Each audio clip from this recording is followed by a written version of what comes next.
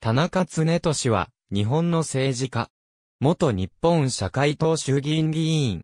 愛媛県東宇和郡病津村で、反応反魚の家に生まれる。家業だけでなく、青年団活動においても活躍した。1953年に、日本大学専門部社会学科を卒業。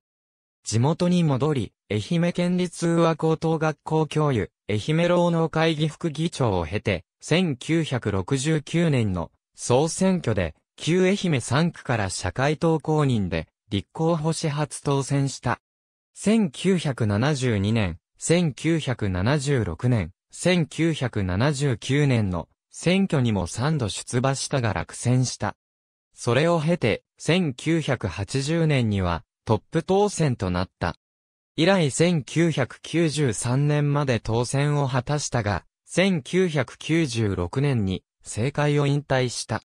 同年区二等局日、重光明受賞。1988年4月リクルート入社。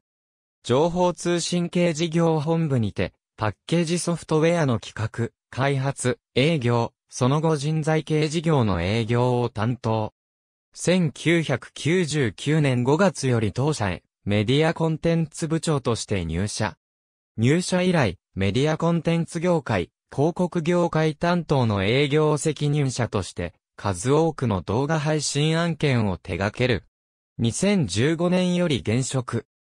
また、政界引退後には、食糧難のアジア・アフリカの貧しい人たちに支援を送るために、食と緑、水を守る、県労農市民会議の議長を務めた。県民から、久志さんの愛称で親しまれ、社会党の何よの顔となった。2014年1月12日、老衰のため死去。88歳没。ありがとうございます。